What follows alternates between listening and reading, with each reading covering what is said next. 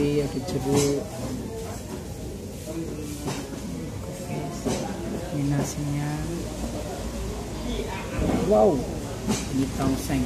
Apa bedanya dengan gulai kalau ini bedanya cuma jeruan sama daging.